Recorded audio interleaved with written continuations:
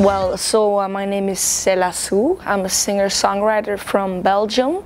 Um, I speak Flemish. I started to play guitar when I was 14 and then I took like three years of classical training of guitar but they didn't want to learn new chords so I got bored of it and I quit and then I um, learned chords through the internet then I developed a taste and I listened to Lauryn Hill, Erykah Badu, uh, really soul music, hip hop as well a bit but um, I never had the intention to become a professional artist. You know, I never took schooling for singing or something. You know, I started um, studied psychology when I was 18. I did uh, economics. I don't know why.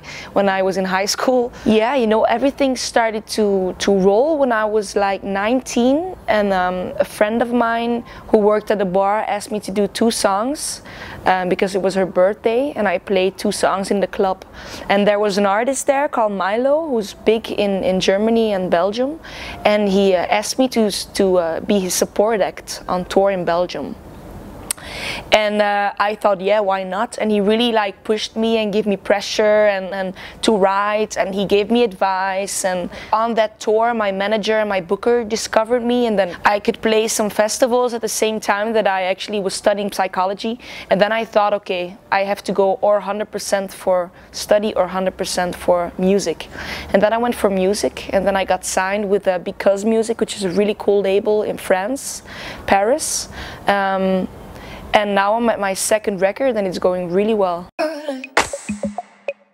Still, I have a very intense emotional life, so I talk a lot about self-acceptance in my lyrics because that for me was the, I think it's the basic in life, you know, learning to accept who you are, to find happiness, and you know, the challenge to find it, to find happiness. That's what I talk about in my lyrics. Like production-wise, like pure musical, it's just the fact of like listening to a lot of different things, and I just love a lot of different things.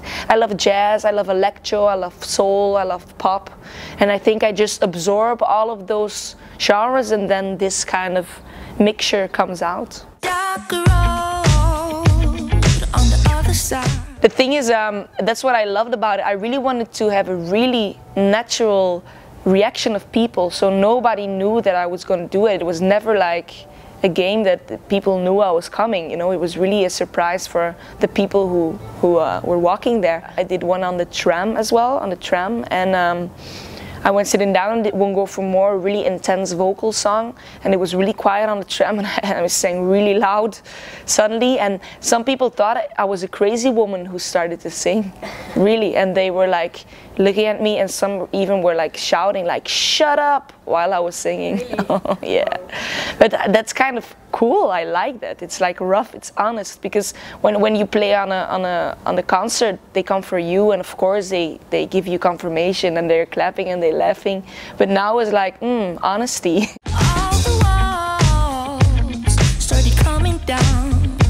I think Ed Sheeran is a really amazing performer and a good songwriter and good songs as well. I mean, it, it's a matter of taste. I mean, for some it's not, for some it's a lot.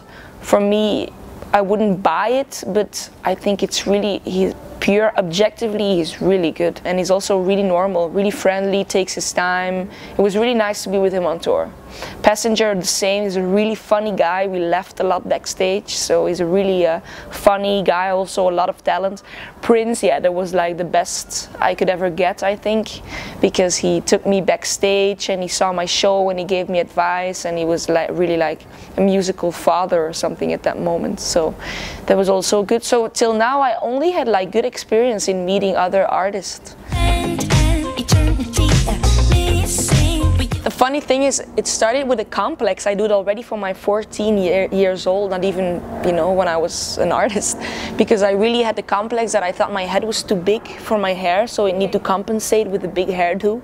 So that's what I did for years because of that. And now I think it's just the, the best version of myself. It really fits me, I think.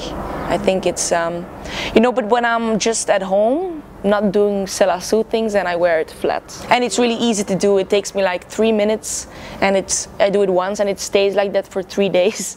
So that's really good, yeah. I've been to Barcelona with my friends on a city trip like, I don't know, like eight years ago or something. which was really nice. But I never played here. They all said, okay, Sana, do a lot of promo in Spain so we can play there. So the 25th of November, I'm gonna play in uh, Madrid, um, Joy Eslava Club. And the 26th of November, I'm gonna play at the Barcelona Jazz Festival at Luz de Gas.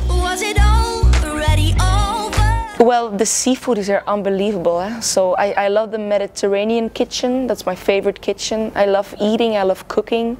So that's just gonna be a good thing about playing here.